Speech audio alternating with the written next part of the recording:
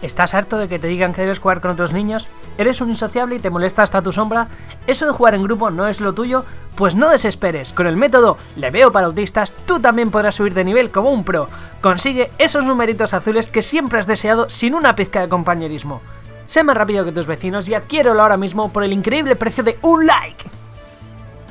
Leveo para autistas es un producto de Nike for Fun barra baja el puto amo.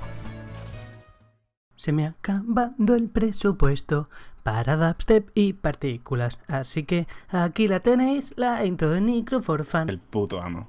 Hola, hola gente, ¿qué tal? Soy Nicro, Nicro for Fun, y estamos aquí en The de Reaper Source en el parche 2.6.4. Y bueno, al margen de la intro esta, que se me ha ido un poco, ya lo siento. Espero que os haya hecho gracia. Eh, lo que vengo a contaros hoy es cómo subir de nivel, la forma más eficiente para subir de nivel en solitario. Sois muchos los que me habéis preguntado cuál es la mejor manera de ganar nivel Paragon. La solución, la respuesta es muy sencilla. Desde hace varios parches hicieron que eh, la mejor manera de ganar nivel de experiencia nivel Paragon sea completando fallas superiores, pero no haciendo fallas superiores, sino completándolas, lo que es el proceso de cerrarla. Creo que es un 60% de la experiencia te la da al cerrar la falla. Hace varios parches nos bufaron mucho las build y lo que hacíamos era abrir fallas 100, 110, fallas muy altas en las que completamos la falla y a la hora de llegar al monstruo nos íbamos, no matábamos al boss de la falla. Y para evitar que hiciéramos eso, lo que hicieron fue eh, que durante la falla, mientras la vamos completando, se nos va guardando parte de la experiencia, no se nos entrega, y se nos entrega al cerrar la falla, al matar al boss y completar el pilón. Entonces, eh, desde que empezó eso, entró el meta de experiencia de tres magos y un monje, de esto hace varios parches, y todo eso evolucionó más tarde en el triple nigromante con, con un monje y ha transicionado ahora al doble bárbaro de monja anterior. Bueno, sea como sea, para aquella gente que no sabe nada. Dentro del juego tenemos la opción de hacer fallas normales y fallas superiores. Las fallas normales determinamos nosotros el nivel de dificultad, las fallas superiores a más nivel de dificultad, mayor, eh, a, más nivel de falla, mayor dificultad, mayor vida de enemigos, mayor daño, mayor todo. La mejor manera de ganar experiencia, la forma en la que más experiencia se obtiene por minuto o por hora, es cerrando fallas lo más altas posibles en la menor cantidad de tiempo posible. Jugar en grupo tiene beneficios. Cuando juegas en grupo y tienes a otros jugadores cerca, se te aplica un bonus llamado La unión hace la fuerza, que nos incrementa la experiencia obtenida un 25%. También nos da más algo mágico y demás. Bueno, sea como sea, lo importante es que cuando jugamos en equipo tenemos una cantidad de experiencia extra muy buena. Pero vamos a suponer que sois unos autistas, que sois gente que no quiere jugar con otras personas, que por timidez, por tiempos, por la razón que sea, no quiere jugar con otra gente. Bien, ¿cómo hacéis vosotros para tratar de ganar la máxima experiencia posible? ¿Cómo subís vuestro nivel Paragon sin eh, tener que cooperar con otros jugadores? Bueno, pues la respuesta es muy sencilla, gente. el concepto es el mismo. Se trata de cerrar fallas superiores lo más altas posibles la menor cantidad de tiempo posible. No importa el tipo de bichos que matéis, importa el tiempo en el que lo hagáis. Siempre y cuando cerréis una falla, del nivel que sea, en menos de 4 minutos, 3-4 minutos, vais a ser capaces de eh, ganar muchísima experiencia. En este caso, por ejemplo, yo me he hecho un monje, lo que estáis viendo es un monje eh, Legacy of Nightmares o legado de pesadillas, y acabo de cerrar una falla 94 en 2 minutos 31 segundos. Este es el concepto Tenéis que tardar menos de 4 minutos. Elegid la build que os dé la gana, elegid el, tipo de personaje que queráis, el concepto que queráis, pero tenéis que ser capaces de cerrar una falla de lo más alta posible en un tiempo bueno. Eh, cuando hacemos meta de grupo, cuando hacemos meta de experiencia, cuando tratamos de ganarlo en grupo, lo que solemos hacer es que nos metemos a, a cerrar fallas de nivel 100, 105, 110, porque como vamos con carries y supports, pues ese, esa conjunción de personajes nos lo permite. Yo en este caso, como estoy jugando en solitario, para mí es cómodo cerrar 94 sin morir. De esa manera también voy a ganar bastante experiencia y voy a poder hacer caldesans de nivel 85 con un 100% de probabilidad de mejora. Entonces a mí este nivel me va bien. A mí personalmente una 94 me va bien. Podría subir hasta una 100 y cerrarlas en 4 o 5 minutos, pero ya pierdo un poquito de eficiencia. Entonces yo personalmente prefiero eh, ir a 94 y cerrarlas como estáis viendo en 2 minutos, 3 minutos, 4 cuando, cuando muy mal. La build que escojáis para hacer esto no importa, eso es decisión vuestra. Si vosotros estáis jugando con Demo Hunter Sombras Empalar, hacedlo con Demo Hunter Sombras Empalar. Obviamente hay builds llamadas de speed, de velocidad, hay builds que van a trabajar mejor que otras. Yo he escogido esta porque con mi equipo, mi nivel, mi Paragon, mi todo, mata muy rápido, mata blancos, mata élites y me es muy fácil cerrar la falla muy deprisa eh, escoged builds que sean capaces de hacerlo. Las mejores opciones, desde mi punto de vista, Esencia Profana Multisot puede cerrar fallas eh, muy fácil. Esta, Legación Nightmares con Ola de Luz, va muy bien. Eh, Tal Rasa de Flagración va muy bien. Por supuesto, el cruzado a campo munición es una bestia, de hecho es de lo mejorcito que hay para hacer esto. Sombras empalar. Hay muchas builds que podréis encontrar que son muy apropiadas. Hay otras que no tanto. El médico brujo, por ejemplo, con Jade es un personaje de combo. Cualquier nigromante de picas es un personaje de combo. Entonces no puede ir rápido porque hasta que no tenga los combos no puede avanzar. En ese sentido yo creo que os interesa una build de autoataques o de cualquier tipo de habilidad que sea spameable, que la podáis usar tan a menudo como os dé la gana. Entonces, de una forma muy resumida, ¿cuál es el sistema? ¿En qué consiste el sistema? Simple y llanamente, cerrar fallas del nivel más alto posible en la menor cantidad de tiempo posible. ¿Cómo sabemos si el nivel en el que estamos es adecuado? Aproximadamente tenéis que cerrarlas en menos de 4 minutos, es decir, abrid una falla a nivel 70, que la cerréis en menos de 4 minutos, subid unos 71, menos de 4 minutos, 72, así hasta que lleguéis a un punto en el que no todas las fallas van a salir iguales, habrá fallas que más o menos las hagáis en 2 minutos y habrá fallas en las que tardéis 5. La idea es que salga la falla que salga, nunca tardéis más de 4. Entonces, si sois capaces, con vuestro equipo, con vuestra habilidad, con vuestro personaje, de cerrar la falla en poquito tiempo, pues mejor. Trucos o bonus que hay para cerrar las fallas muy rápido. Jingum para tener mucha movilidad. Eh, brazales Nemesis para sacar élites y llenar más la barra, pero claro, tienen que ser builds que os lo permitan. Por ejemplo, un Sombras Empalar puede llevar unos Nemesis y eso la acelera.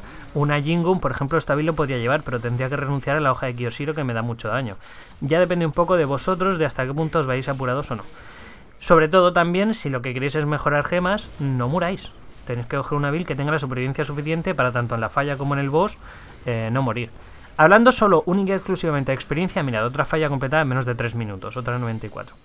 Hablando solo de meta experiencia, si vais a jugar en grupo, eh, haced support o haced carry en función de lo que os interese y, y tiradle, tiradle a cerrar lo que podáis en menos de 4 minutos. Que lo hacéis en solitario, que es lo que yo pretendo compartir con vosotros en este, en este vídeo, pues eh, lo mismo, menos de 4 minutos la falla más alta que, que seáis capaces de hacer. ¿Tiene secretos? ¿Tiene trucos? ¿Tiene alguna cosilla que os pueda decir que os vaya a hacer más fácil las cosas? Esto es una de las cosas. Yo tengo varios elijos vacíos. Yo cuando estoy haciendo fallas, entre comillas, entro en trance. A mí me gusta ponerme un poco de música y ponerme a jugar y no ponerme en ese momento ni identificar ítems ni a nada. Ponerme única y exclusivamente a hacerlo. Ahora os voy a mostrar la build. Ahí tenéis las armas. Podéis ir pausando el vídeo y haciéndole capturas o lo que necesitéis. ¿Vale? Os estoy enseñando mis ítems. Es una alegación Nightmares, un alegado de pesadillas basada en daño de fuego y ola de luz. ¿Vale? Y ahí lo tenéis. Por supuesto, has legado de pesadillas, todo debe ser ancestrales o ancestrales primigenios. Y ahí tenéis las habilidades. Se puede personalizar, se le puede meter más velocidad, se le puede meter más supervivencia, se puede meter más daño. Yo la tengo adaptada a mí, ¿vale? Se le puede hacer muchos cambios según eh, vuestro equipo. Yo la he adaptado tal y como a mí me ha hecho falta. Esta es una de las primeras builds a las que os quiero traer vídeo y que quiero traeros también la imagen de la build para quien la quiera imitar. Al ser una alegación Nightmares, al ser una, una build de ancestrales, yo entiendo que no va a ser fácil de farmear, pero estáis viendo cómo funciona. Es una bestia, realmente vale la pena la inversión. Yo de hecho le acabo de meter Caldesans, me he tirado 13 horas fabricando Caldesans de nivel 100 para poder caldesanearla y ahora vuelo en las fallas. Como estáis comprobando, en general no suelo tener problemas. Eh, ¿Tiene sus dificultades esta build? Pues en realidad no muchos. Es una build super tanque, con muchísimo daño, radio de acción, con mucha movilidad. Para mí se ha llevado una muy buena... De hecho es la que estoy usando para hacer este tipo de fallas, del 40 al 80. Y ya más arriba no, porque de vez en cuando me muero, pero...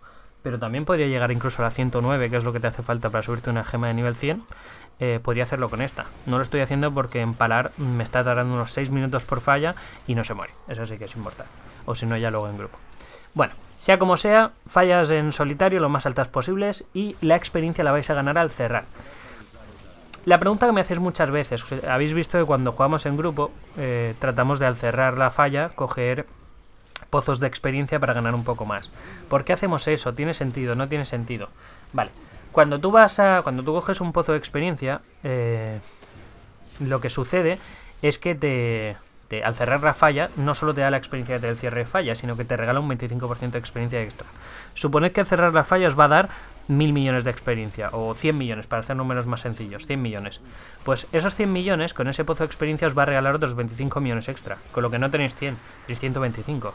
Si a lo mejor para vosotros un nivel son 200 millones, acabáis de ganar eh, una octava parte de un nivel, solo por haber cogido un, pozo de forma gratuita. ¿Vale la pena? ¿No vale la pena? Yo soy de la opinión de, de que hasta que no lleguéis a los 1500, 2000 de Paragon no vale la pena. Por una razón muy sencilla. Porque cuando eh, tenéis que buscar los pozos, perdéis una cantidad de tiempo que ganaríais mucha más experiencia si ese tiempo lo invertiréis en abrir una nueva falla. Entonces, si ya tenéis un nivel de Paragon que va a hacer que os cueste gastar los pozos, que cuando estéis dentro de una falla no se os gasten al instante, es decir, 1500, 2000 de Paragon, sí, buscad los pozos. Si no, no. Si no, simplemente haced fallas, cuantas más mejor y más rápido mejor que usáis el mismo personaje para hacer Tormento 13 y para hacer Falla Superior. Meteos, eh, por ejemplo, yo con este me, pongo Sunguko Sabio la de luz y hago T13 y me pongo eh, la LON y hago GR. Entonces yo lo que hago es, me pongo a hacer fallas T13, me cojo 10 pozos, ¿vale? No sé si os fijáis abajo, yo llevo pozos.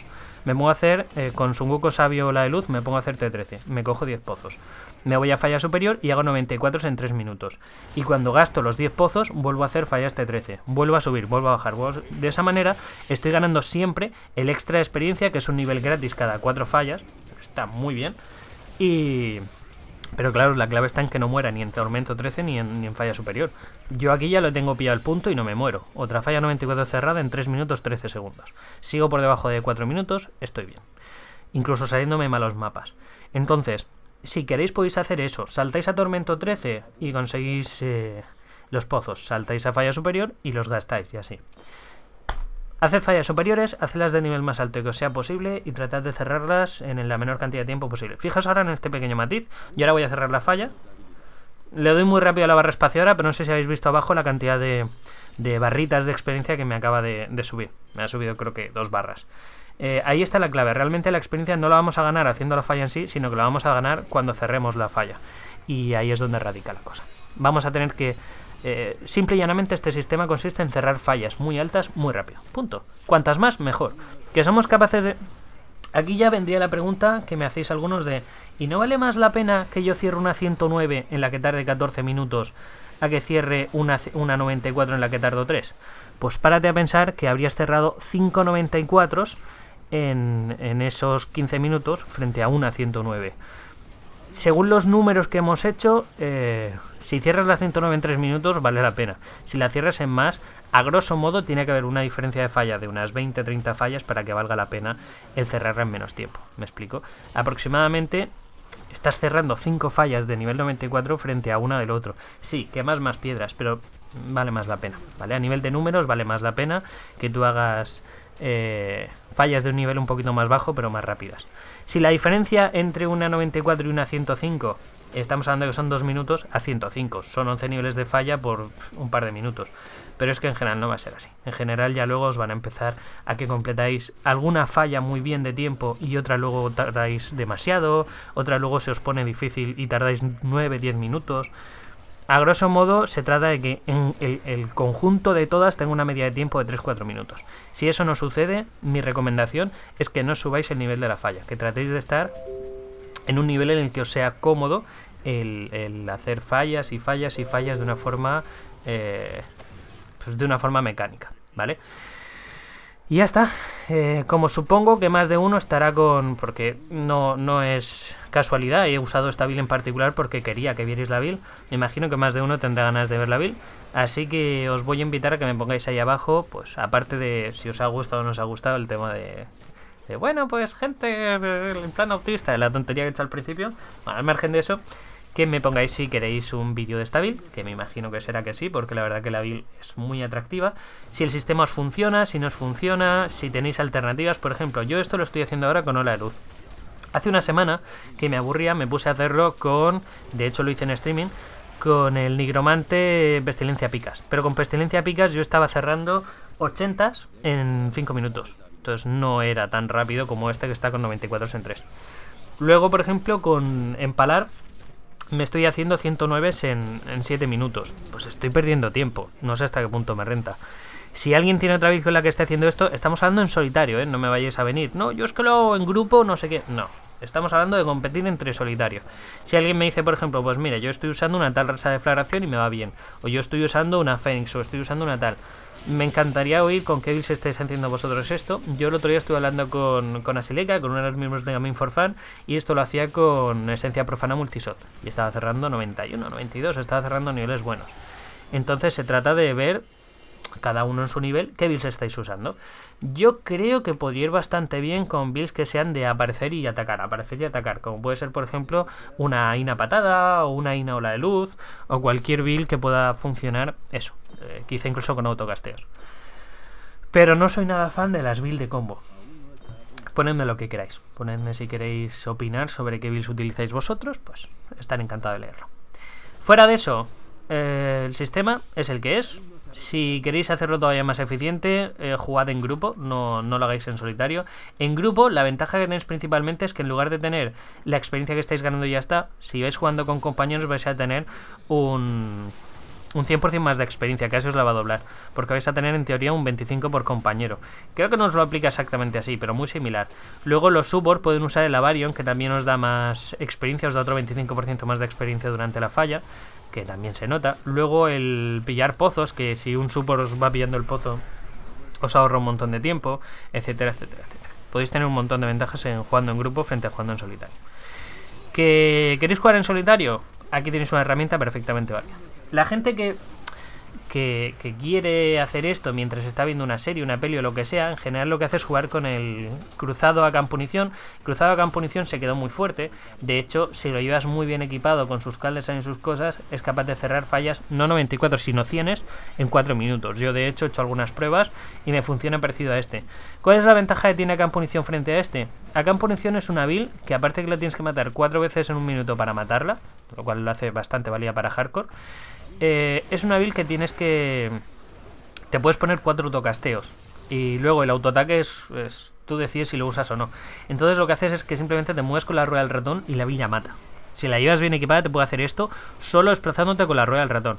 Eso hace que, que, el juego sea tremendamente aburrido, pero hace que sea tremendamente fácil. Entonces si tenéis una segunda pantalla, el móvil o lo que os dé la gana, podéis poneros una serie, una peli o lo que os dé la gana. Podéis poneros a chatear, a yo que sea, lo que queráis, o la tele.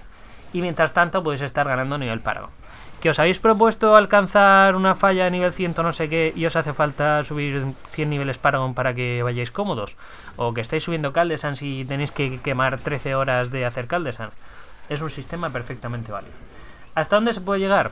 Eso ya depende de cada uno. Yo pienso que a partir de ciento y pico ya entran condicionantes, 106, 107, ya entran condicionantes que os pueden hacer la puñeta y pocas build son inmunes a los condicionantes. Entonces, que os cae un mal mapa, que os cae un mapa que tiene puertas y veis una build que no se lleva bien con las puertas, que os caen muchos Goliath y lleváis una build que sufre mucho contra los Goliath.